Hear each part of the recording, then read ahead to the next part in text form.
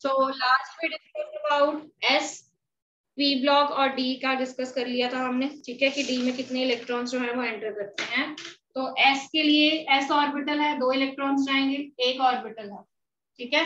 दो इलेक्ट्रॉन्स जाएँगे तो यहाँ पे आपके पास दो ग्रुप्स आ रहे हैं। This is first and this is second group अब उसके बाद अगर मैं पी की बात करूँ तो पी के लिए मेरे पास तीन ऑर्बिटल्स हैं। तीन ऑर्बिटल्स का मतलब छह इलेक्ट्रॉन्स जाएँगे। तो यहाँ पर कितने ग्रुप्स हैं हमारे पास? छह। One two three four five and six similarly D के लिए अगर मैं बात करूँ तो डी के लिए मेरे पास पाँच ऑर्बिटल्स हैं। यानी कि इसमें टोटल दस इलेक्ट्रॉन्स जाएँगे तो कितने ग्रुप्स आ जाएँगे?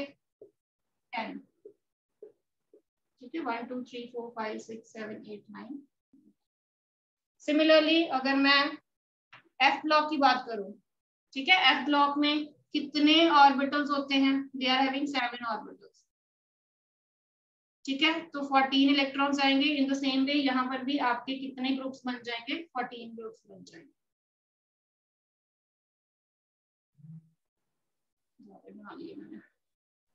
ठीक है? तो काउंट करके हमने यहाँ पे 14 ग्रुप्स बना दिए यहाँ बस okay so in in overall यहाँ पे 14 ग्रुप्स आएँगे। ओके तो configuration N S one to two जाएगी N minus one D one to ten N S one to two for the D block के लिए हो जाएगी, ये पी ब्लॉक के लिए है. एस और पी कलेक्टिवली हम इनको रिप्रेजेंटेटिव एलिमेंट्स कहते हैं. एस और पी को कलेक्टिवली हम क्या कहते हैं?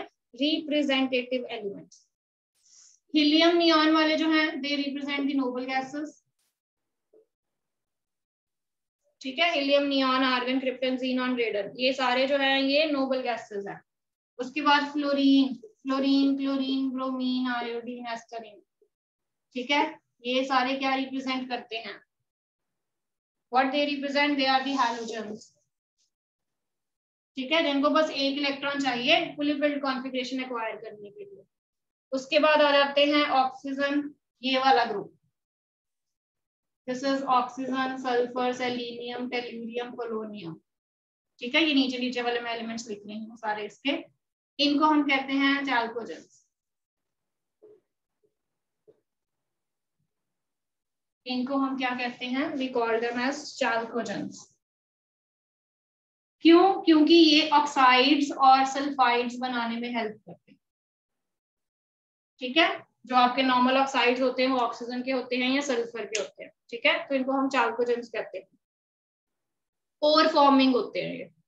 ओके उसके बाद एफ़ वालों की जो इलेक्ट्रॉनिक कॉन्फ़िगरेशन है that is N minus two F F में वन टू फोर्टीन इलेक्ट्रॉन्स जा सकते हैं। N minus one D zero to one N S two तो इलेक्ट्रॉनिक कॉन्फ़िगरेशन ये जनरल सबकी आपने लर्न कर लेनी है, पहली बात।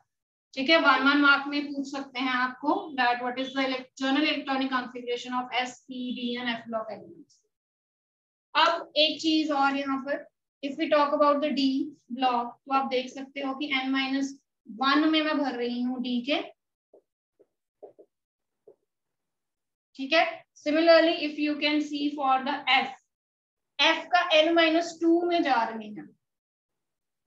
ठीक है? फिर यहाँ पे एन माइनस वन आ रहा है डी जो कि वन से टू तक जा रहा है सॉरी ज़ीरो से वन तक जा रहा है and then N S two अब इसमें जो इलेक्ट्रॉन्स की फिलिंग हो रही है that is filling in the penultimate shell जो मैं आपको कल भी बता रही थी। पेनल्टीमेट शेल का मतलब क्या है कि एक कम ऑर्बिटल में शिफ्टिंग हो रही है या फिलिंग हो रही है।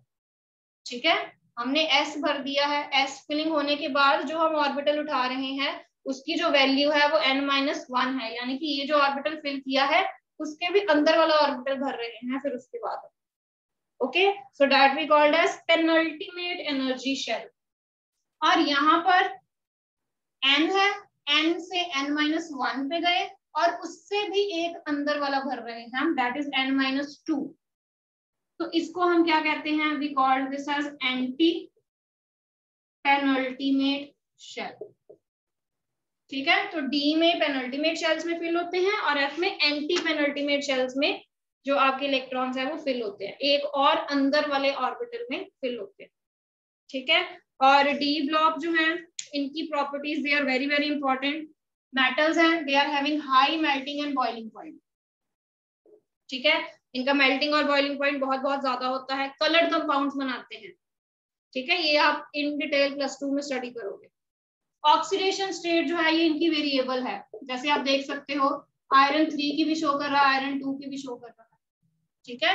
तो they are having variable oxidation state जो इनके ऑक्सीडेशन स्टेट है दे कैन वेरी पैरामैग्नेटिक है, ये भी हमने देखा है। They are having unpaired electrons okay अब एक चीज़ और, ये वन वन मार्क के क्वेश्चन में भी आपसे पूछ सकते हैं।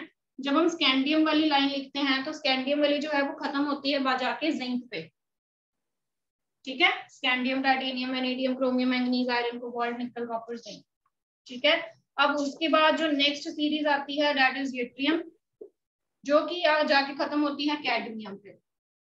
ठीक है? एंड उसके बाद जो आता है, वो लैंथियम आता है आपका दैट एंड्स एट मर्करी अब अगर आप देखो तो इनकी जो कॉन्फ़िगरेशन है दैट इज़ डी टेन इन सब की जो कॉन्फ़िगरेशन है दैट इज़ डी टेन ठीक है?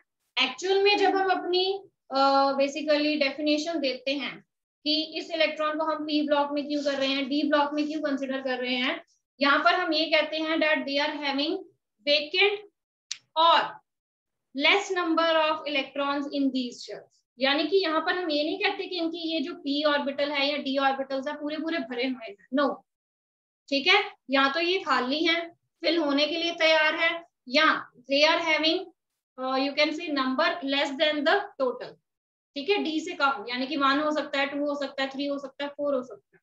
बट अगर वो कंप्लीट है, ठीक है? If they are complete that don't satisfy the definition of the transition elements यहाँ पर डी पूरे भरे हुए हैं तो ये डी ब्लॉक वालों की जो डेफिनेशन है, उनको सेटिस्फाई नहीं करते हैं। बट फिर भी, क्योंकि इनके इलेक्ट्रॉन्स जो है, वो डी में जा रहे हैं, इसीलिए हम उनको डी ब्लॉक में कंसिडर करते हैं। Otherwise, they don't fill the definition. That is that they are having the vacant or the electrons that are less than the fully filled configuration. ठीक है? तो ये उस डेफिनेशन को कंप्लीट नहीं करते हैं बट क्योंकि इलेक्ट्रॉन जो है वो डी ब्लॉक में जा रहे हैं डी सबशेल में जा रहे हैं, इसीलिए हम इनको डी ब्लॉक में कंसिडर कर रहे हैं। ठीक है? तो that can be one mark question for you कि इनका तो डी भरा हुआ है, फिर हम इनको डी ब्लॉक में क्यों कंसिडर कर रहे हैं? ठीक है?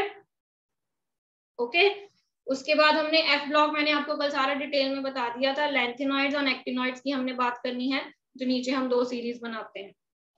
ठीक है? अब उसके बाद चलते हैं that how we can locate the position of any element ये एज इट इज़ आपका क्वेश्चन नहीं आएगा बट ये आपको बाकी क्वेश्चंस में हेल्प कर सकता है कि आपने किसी भी एलिमेंट की पोजीशन कैसे लोकेट करनी है। पोजीशन का मतलब आपने उसका पीरियड बताना है।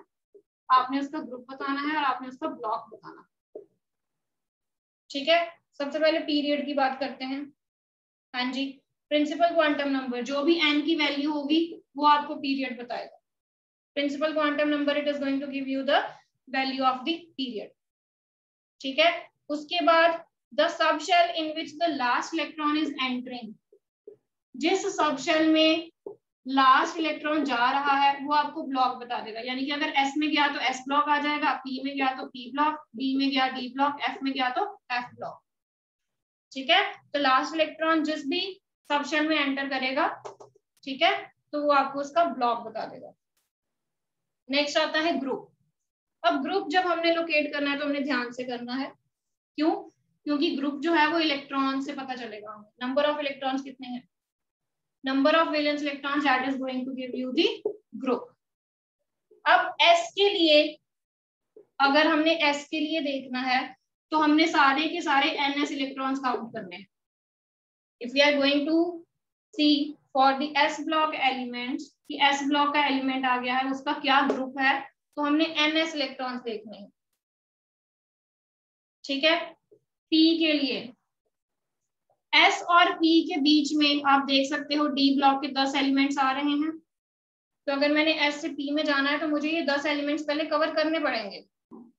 मुझे ये दस एलिमेंट्स पहले कवर करने पड़ेंगे तो मैं यहाँ पे टेन ऑलरेडी लिख रही हूँ।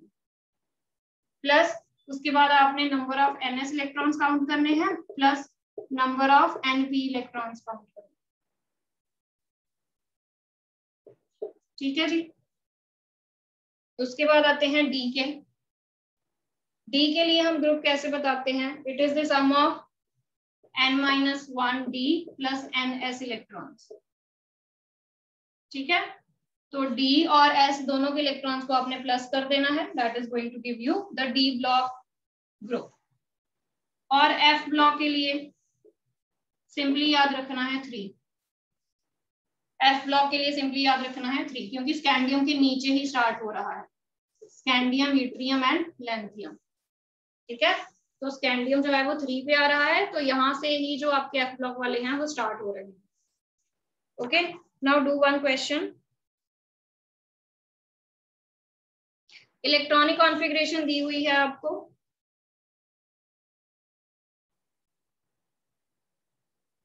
That is 1s2 2s2 2p6 3s2 3p6 and 4s1 argon की कॉन्फ़िगरेशन के साथ आपको फोर एस वन दिया हुआ है। इसका लोकेट करो।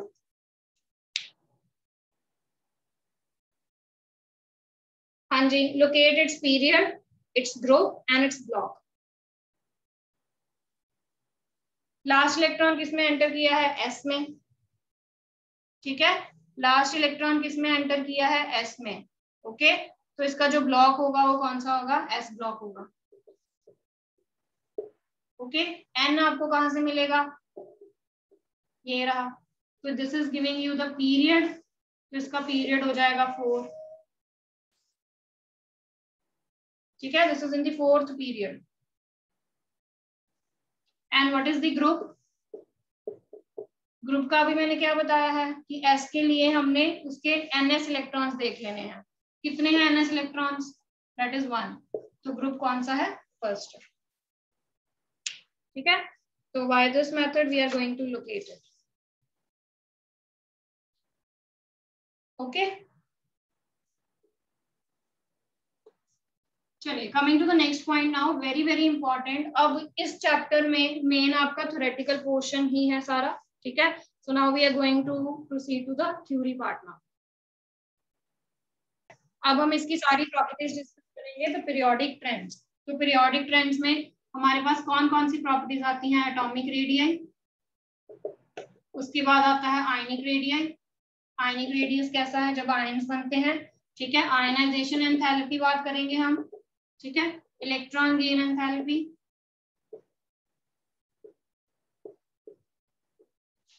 हमने ये सारी चीज़ें डिस्कस करनी है, ठीक है? और इन्हीं पे ही बेस्ड क्वेश्चंस जो है वो होते हैं, ठीक है? उसके बाद वेलेंसी और वेलेंस इलेक्ट्रॉन्स का आप कंसेप्ट पहले भी पढ़ के आए ठीक है? इन्हीं पे बेस्ड हम मेटालिक करेक्टर की बात करेंगे ऑक्सीडाइजिंग एंड रिड्यूसिंग करेक्टर्स की बात करेंगे, ठीक है? तो सबसे पहले चलते हैं एटॉमिक रेडियाई पे।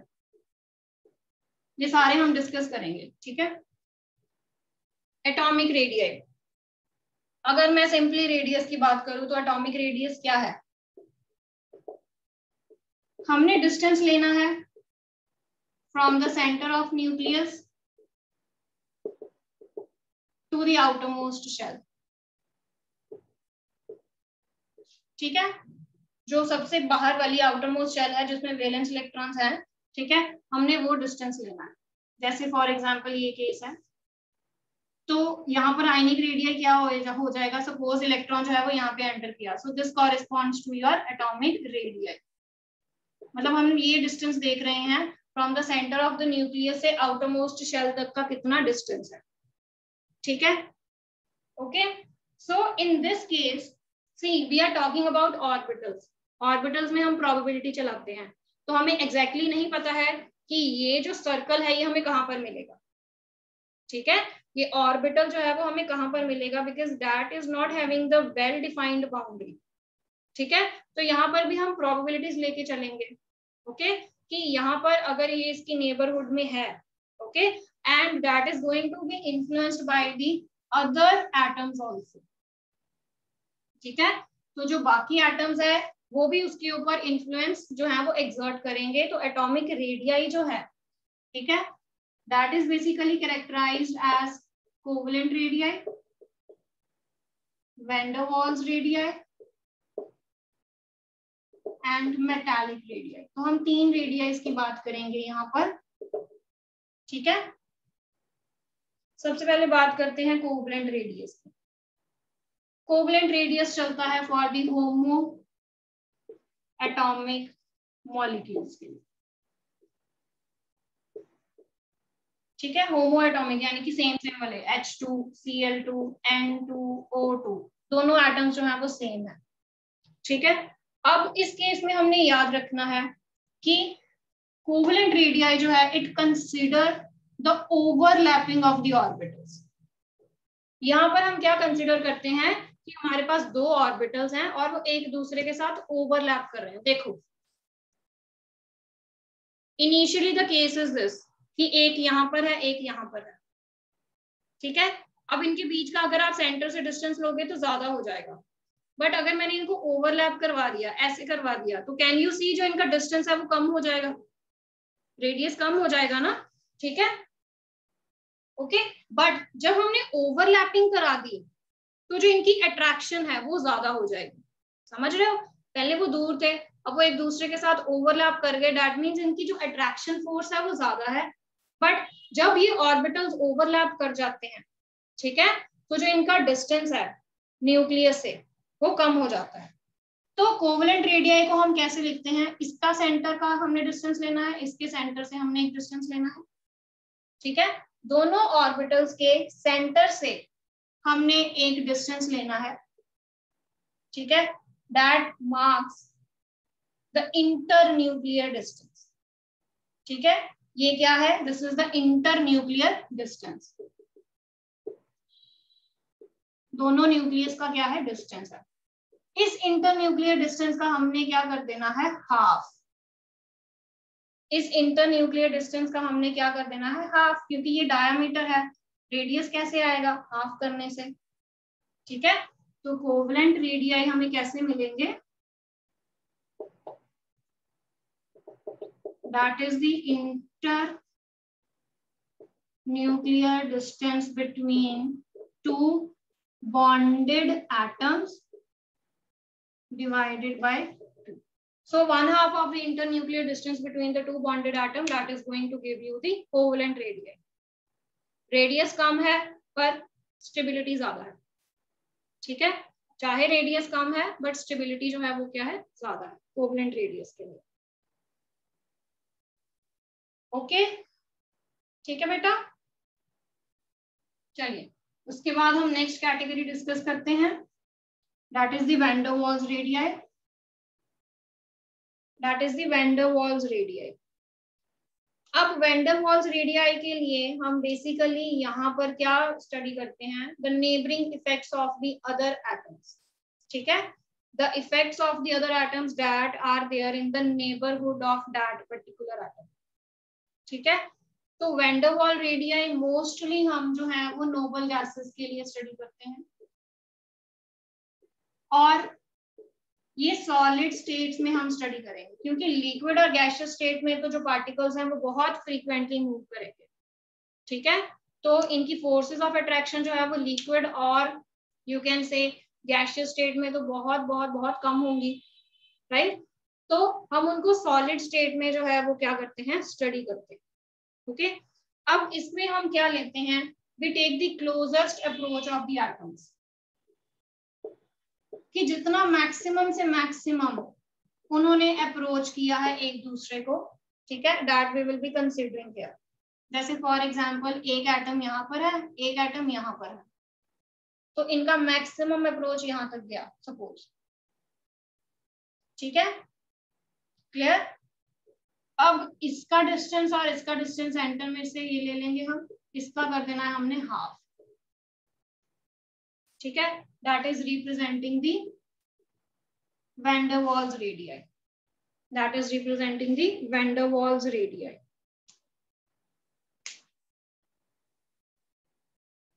अब आप देख सकते हो कि यहाँ पर ओवरलैपिंग नहीं है मतलब सफिशिएंट डिस्टेंस है। तो जो वॉल्स रेडियाई होता है, वो सबसे मैक्सिमम रेडियाई है। ठीक है?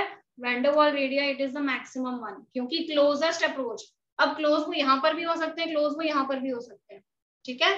तो हमने क्लोजेस्ट अप्रोच का डिस्टेंस लेना है, जहाँ पर वेंडरवॉल रेडिया का रेडिया जो है, वो ज़्यादा आता है।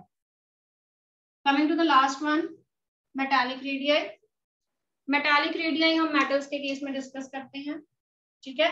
We study them in the case of metals that are having the crystalline structure. जैसे NaCl हो जाते हैं। They are having the crystal structure ठीक है? इनका क्रिस्टल लैटिस होता है। ये सॉलिड स्टेट्स में ही डिस्कस किया जाता है। Okay okay? और यहाँ पर पॉजिटिव और नेगेटिव अगेन दो चीज़ें हैं हमारे पास। यहाँ पर जो पॉजिटिव चीज़ है the positive thing that we are saying in the lattice that we known as the kernel ठीक है? जो मेटल आयन है basically an a positive NaCl में से जो पॉजिटिव है, वो कौन है? Na है ना? तो मेटल को हम in the form of kernels जो है, वो लेते हैं। ठीक है? और नेगेटिव जो है, यहाँ पर इलेक्ट्रॉन्स की बात करेंगे। The valence electrons of the metal ठीक है? तो वेलेंस इलेक्ट्रॉन्स जो हैं ये इसको मेटल के आयन को क्या करते हैं? अपनी तरफ़ अट्रैक्ट करते हैं। ठीक है? तो ये अट्रैक्शन फोर्सेस के कारण कौन सा बॉन्ड बनता है? मेटालिक बॉन्ड बनता है। There is a metallic bond formation electrons of the metal and the metal ion. ठीक है? Okay okay? तो अब इसका मेटालिक बॉन्ड का हम डिस्टेंस ले लेते हैं। अगेन ठीक है? तो in the final case in the final case now the van der Waal radii is very very large ठीक है okay then comes the metallic radii and then comes the covalent radii यानी कि अगर मैं length की बात करूँ ठीक है लेंथ की बात करें तो सबसे ज़्यादा जो है वो वेंडरवॉल रेडियाई होता है फिर मेटालिक रेडियाई आते हैं फिर कोवलेंट रेडियाई आते हैं और अगर मैं फोर्सेस की बात करूँ तो रिवर्स है बिल्कुल। फोर्सेस सबसे स्ट्रांग होंगी कोवलेंट में, फिर मेटालिक में, फिर वेंडोवल में इसको आप कैसे समझ सकते हो? See I am having a pencil here बड़ी है पेंसिल ठीक है? ये पेंसिल का जो साइज़ है, ये वेंडरवॉल रेडियाई है यहाँ पे। बड़ी होने के कारण, ठीक है? लंबी होने के कारण मैं इसको इजिली तोड़ सकती हूँ। तो इसकी स्टेबिलिटी जो है वो कम हो गई है। ठीक है? अब अगर मेरे पास सपोज़ छोटी पेंसिल होगी, इतनी पेंसिल है। ठीक है? जो ये रेडियाई है वो कम हो गया। अब इसको तोड़ने में थोड़ी सी डिफिकल्टी होगी मुझे। That represents the metallic radii ठीक है? थोड़ा वेंडोवॉल से कम है राइट बट इसमें जो फोर्सेस है वो वेंडोवॉल से ज़्यादा तो that represents the metallic radii बिल्कुल अगर मैं इतनी सी पेंसिल ले लूँ, क्या मैं उसको तोड़ सकूँगी? No no. ठीक है? I am not able to break it तो वो कोवलेंट रेडियाई है। इतना कोवलेंट रेडियाई है and that is more strong ठीक है? तो इसलिए अगर आप रेडियाई की बात करोगे तो वेंडोवॉल सबसे ज़्यादा है। अगर आप स्टेबिलिटी की बात करोगे, ठीक है? तो the atoms that are bonded by the covalent radii that are very very stable ठीक है जी? ओके अब एटॉमिक रेडियाई का ट्रेंड तो आप लोअर क्लासेस में पढ़ के आए ही हो। ठीक है? टेंथ में भी आप पढ़ के आए हो कि एटॉमिक रेडियाई जो है वो कैसे वेरी करता है? ठीक है? तो down the group and along the period हम डिस्कस करेंगे। ओके तो you know that the atomic radii it decreases along the period, but it decreases, sorry, it increases down the group. ठीक है? जो एटॉमिक रेडियाई है, वो period की तरफ़ कम हो जाता है बट नीचे आते आते ग्रुप में वो इंक्रीज कर जाता है. Reason reason here is nuclear charge nuclear charge कैसे बढ़ रहा है? क्योंकि electrons they are entering in the same shell shell नहीं बढ़ रही है डिस्टेंस नहीं बढ़ रहा है बट इलेक्ट्रॉन्स जो है वो और आते जा रहे हैं, ठीक है? जिसके कारण जो प्रोटॉन्स हैं दे आर ऑल्सो इंक्रीजिंग तो जो पॉजिटिव चार्ज है, वो बढ़ रहा है, ठीक है? न्यूक्लियर चार्ज जो है, वो बढ़ रहा है और जो एनर्जी शेल्स हैं दे आर नॉट इंक्रीजिंग ठीक है?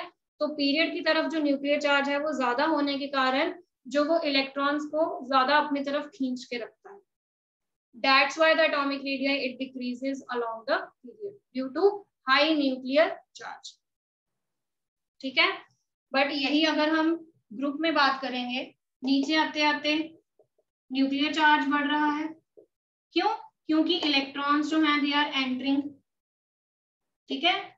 Electrons they are entering in new subshells और इन न्यू शेल्स ठीक है? चाहे इलेक्ट्रॉन्स बढ़ रहे हैं, ठीक है? इलेक्ट्रॉन्स जो है, वो एड अप हो रहे हैं बट वो किसमें ऐड हो रहे हैं? They are adding in the new shell नई शेल में ऐड हो रहे हैं। ठीक है? तो इलेक्ट्रॉन्स के ऐड होने के कारण दो पॉजिटिव चार्ज भी बढ़ रहा है but that is compensated with the electrons that are entering in the new shells ठीक है? तो जो इफ़ेक्ट है increase in the nuclear charge that is compensated with the effect of the increase in the number of the shells ठीक है? तो क्योंकि नीचे आते आते एटॉमिक नंबर बढ़ रहा है ना तो एटॉमिक नंबर के बढ़ने से जो इलेक्ट्रॉन्स हैं they are entering in the new subshell ठीक है? तो वो इफ़ेक्ट ज़्यादा प्रोनाउंस हो जाता है as compare to the effect of the nuclear charge इसीलिए जो नीचे है नीचे की तरफ़ जो एटॉमिक रेडियाई है वो क्या कर जाता है? इंक्रीज कर जाता है. Okay so this is due to the increase in the uh, shells in which the new electrons they are clear